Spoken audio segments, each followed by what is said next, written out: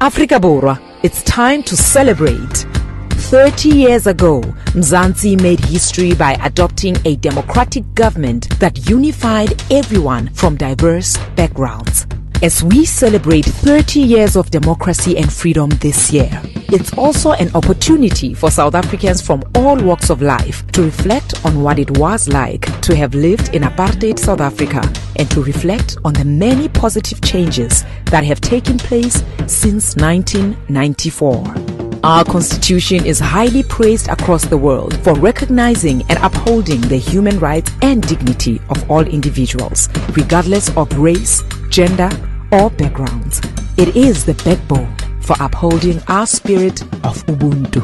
Mzansi, you are because we are.